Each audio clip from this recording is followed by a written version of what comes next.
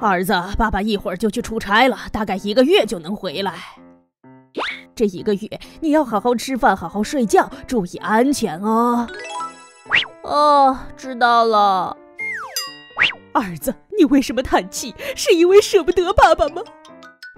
嗯，无拘无束的生活只能持续一个月，看来我得好好珍惜了。呃，